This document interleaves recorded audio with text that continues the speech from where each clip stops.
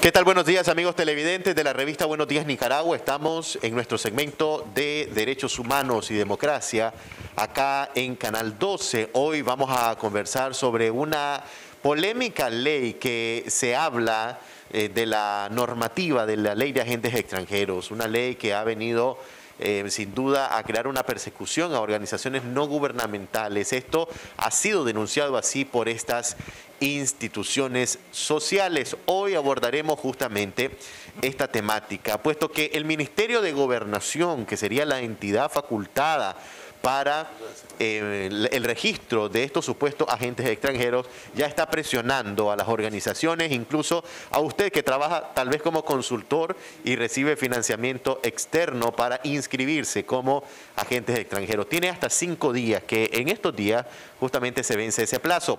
Para hablar sobre esta temática he invitado al doctor Marcos Carmona, director ejecutivo de la Comisión Permanente de los Derechos Humanos. Doctor, gracias por estar con nosotros. Bienvenidos. Gracias, Marco, por darnos la oportunidad de dirigirnos al pueblo de Nicaragua. Definitivamente que eh, lo que está refiriendo esta ley, primero hay que destacar que es una ley eh, inconstitucional, es una ley antidemocrática, es una ley en donde pretende este gobierno y la Asamblea Nacional que no hayan organizaciones de sociedad civil que estén elevando la voz de los abusos y atropellos que se dan en este país. Nosotros cuando hicieron la ley, eh, los, los padrastros de la patria que se han portado muy mal con el pueblo de Nicaragua, definitivamente recurrimos de inconstitucionalidad. Porque en esta ley observamos que habían más de 24 roces con la constitución política, en donde nos dejaban en un estado de indefensión total, no solo como nicaragüenses, sino como eh, defensores de derechos humanos. Y en este sentido hemos recurrido a la Corte Suprema de Justicia, ya eso ha, ha transcurrido un par de meses, no tenemos respuesta todavía de la Corte Suprema, pero tenemos la esperanza de que la Corte en alguna medida pueda retomar este tema. En estos días acaba de salir esta normativa, una normativa que en donde ratifica los abusos que quieren tener ese control absoluto sobre las organizaciones no gubernamentales. Y esto es increíble porque eh, el Ministerio de Gobernación lo que pretende a y descaradamente es confiscar, expropiar y sancionar a la ONG que somos críticas al gobierno y somos en el sentido que queremos seguir denunciando los atropellos constantes que se dan en este país.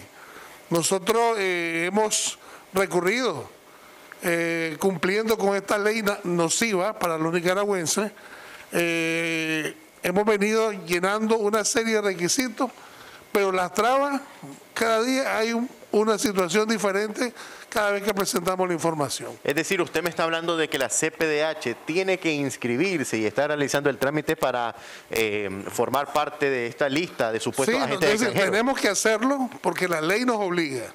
¿verdad? Como organización de derechos humanos no queremos estar al margen de la ley. Queremos cumplir, aun cuando sabemos que es una ley eh, inconstitucional y es una ley abusiva. Y en este sentido nosotros hemos venido cumpliendo en tiempo y forma todos los procedimientos. Sin embargo, es contradictorio. En el caso de CPDH, que hemos ido ya en cantidades de veces, primero que no nos quieren recibir la información, ni, ni siquiera quieren firmar. Segundo, que todo lo que están diciendo lo están diciendo verbalmente. Y cada vez que nos piden una información y la completamos, después salen con otra información. Es decir, la falta de seriedad, la falta de responsabilidad de este ministerio, eso te indica que lo que quieren es llevarte a que digan que digan que no estás cumpliendo con los registros que ha puesto el Ministerio de Gobernación. Pero algo contradictorio es que nosotros desde el año 2018 a la CPDH y me imagino que muchas otras organizaciones de sociedad civil no han entregado la carta de cumplimiento, no han entregado la certificación de junta directiva, una serie de requisitos que cada año cuando nosotros presentamos los informes eh, anuales, eh, cumpliendo con lo que establece la ley. Sin embargo, desde el 18 ha suspendido esto. Pero es contradictorio porque en los requisitos que están pidiendo, están solicitando la carta de cumplimiento. ¿Cómo vamos a cumplir con algo que ni ellos mismos nos están dando? ¿Verdad? Y es contradictorio que hoy nos estén señalando situaciones que nosotros le hemos aclarado en tiempo y forma. Por ejemplo, nosotros presentamos cada año, reitero, los informes de nuestras donaciones, nuestros donantes, eh, los la ejecución de los fondos. Todo, todo transparentemente. Sin embargo, nos están cuestionando que eh, aclaraciones del 2015, del 2014, 2016, y lo hemos hecho. Sin embargo, estas son tácticas dilatorias. Si en el año 2014, 2015, 2016 nos dieron la carta de cumplimiento, significa que hemos cumplido en tiempo y forma. Que ahora están poniéndole, reitero, pelo en la sopa para que nos ahoguen y dejarnos en ese estado de indefensión que estamos todos los nicaragüenses. Porque esta ley, no solo la ley de agentes extranjeros, sino la ley del ciberdelito, también es una ley que pronto también nosotros vamos eh, a recurrir de inconstitucionalidad, porque esa es también una ley que nos afecta a todos los nicaragüenses, en donde le da facultades a las instituciones como la policía, Ministerio Público, los mismos juzgados, a que intervengan nuestros teléfonos, a que haya un registro de un año de todas nuestras declaraciones, de esto que estamos hablando en este momento. Una violación a la privacidad. Es una violación a la privacidad, es decir, estamos en un estado policíaco en donde hay aquí el espionaje perfecto para estar señalando o buscando a las personas que ellos tienen interés específico. Ahora, doctor, voy a regresar al tema de los agentes extranjeros. Esta normativa que recién eh, fue publicada en la Gaceta establece multas graves, más graves y, las gravísimas, pues que incluso se habla de hasta 500 mil eh, Córdoba o dólares en, multas. Bueno, eso sería lo menos. Lo peor va a ser cuando nos confisquen los edificios, nos confisquen las propiedades.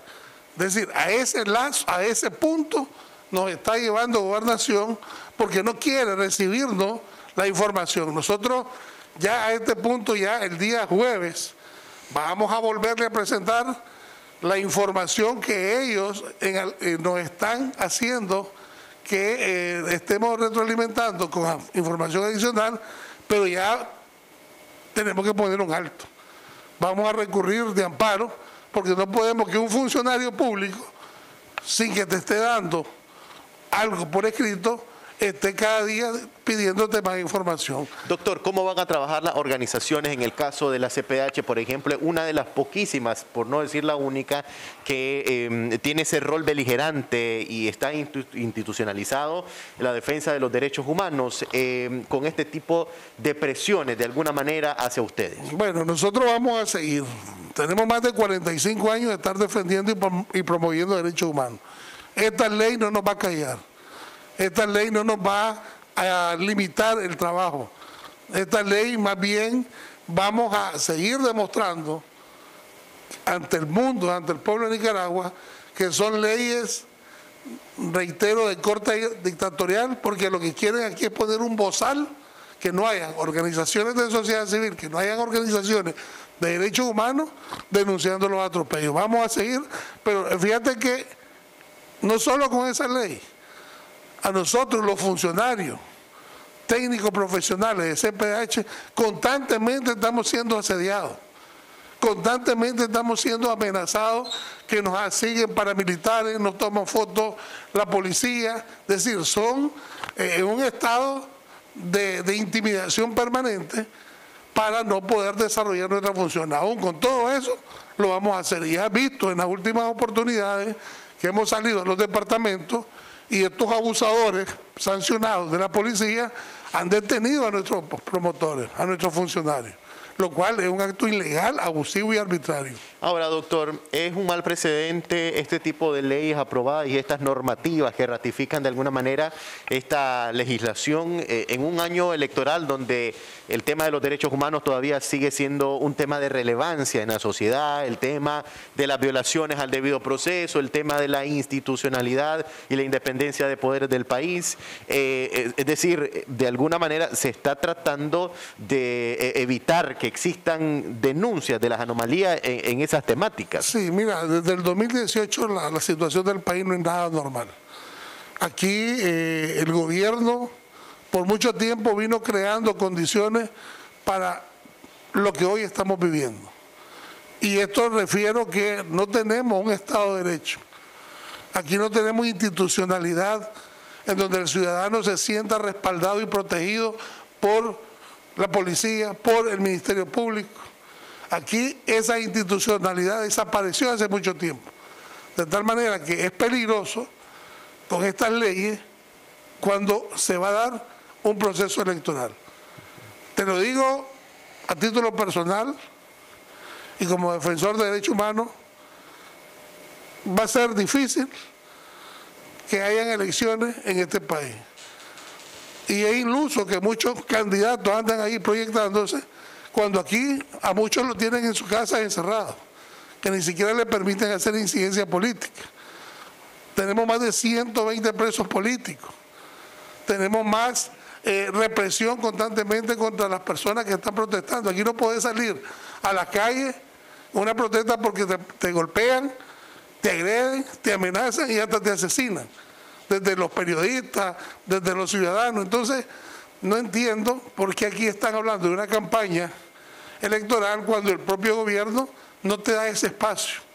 Aquí vos crees que el ciudadano va a ir a votar cuando tenés un poco de paramilitares armados y te van a amenazar que si votás en contra de ellos, entonces esta gente tiene un control total sobre la ciudadanía sin embargo, siempre hemos dicho de que hay que seguir en esta lucha. Hay que perder ese miedo, pero hay que demostrarle a este puchito que están en el gobierno que el pueblo tiene la decisión de poner y quitar gobierno. Ahora, doctor, eh, bueno, hemos visto realmente que se han incrementado también, por otro lado, la denuncia eh, de violaciones a derechos humanos. ¿Cómo está la CPDH recibiendo, aún eh, en paralelo, pues trabajando el tema de, la legislación de agentes extranjeros con el tema de las violaciones a los derechos humanos de los ciudadanos? Sí, mira, nosotros hemos cambiado un poco la modalidad, dado que la permanencia de la policía en la CPDH, en la oficina, es constante. Nosotros hemos tomado la decisión de irnos a los municipios, a los barrios, donde hacemos coordinaciones de que sabemos que hay denuncias y estamos recopilando. Pero también estamos informando constantemente a los organismos internacionales. Nosotros semanalmente tenemos reunión con la CIDH, con el Grupo Meceni, quincenalmente tenemos con la Oficina del Alto Comisionado de las Naciones Unidas de Derechos Humanos, de tal manera que estamos informando todos estos abusos y atropellos que se están dando en nuestro país. Es decir, el interés de las organizaciones internacionales sobre la situación del país continúa vigente. No se ha perdido. Es decir, eh, ellos están claros que hay un gobierno represor, que hay un gobierno violador de los derechos humanos, que hay un gobierno que la constitución política no la respeta y por ende sabe que también hay instituciones sometidas a un mismo poder y que los nicaragüenses estamos eh, sin garantía, sin derechos constitucionales y por ende en ese estado de indefensión total que estamos expuestos a que en cualquier momento te detengan, te pongan 90 días en investigación y después te digan, no, usted no es culpable. Es decir, ese tipo de abuso, este, volvimos al estado inquisitivo, que eso ya se había superado hace mucho tiempo. Hoy aquí la policía te agarra, antes eran 48 horas, ahora tienen derecho de... Hasta 90 días. 90 días. Entonces, esto es un abuso arbitrario que en vez de ir en perspectiva de desarrollo del país, más bien vamos en ese retroceso significativo de derechos humanos. Doctor, desde el gobierno, o al menos desde el discurso de algunos funcionarios, las organizaciones no gubernamentales eh, han financiado lo que ellos denominan golpe de Estado, terrorismo, tranques, esto y lo otro. ¿Por qué les atribuyen eso? Bueno, mira, eh, primero, aquí los organismos internacionales han destacado que aquí no ha habido ningún golpe de Estado. Aquí lo que ha habido es un descontento social, producto de las malas decisiones y asesinatos que se dieron. ¿verdad? Eh, nosotros como CPDH eh, sabemos que la Declaración Universal de los Derechos Humanos en su preámbulo 2 establece que todos los gobiernos que no escuchan a su pueblo, el pueblo tiene derecho a rebelarse. Y esa fue una rebelión del pueblo por ese descontento social. Sin embargo, eh, nosotros como CPDH nos hemos dedicado a defender y promover derechos humanos.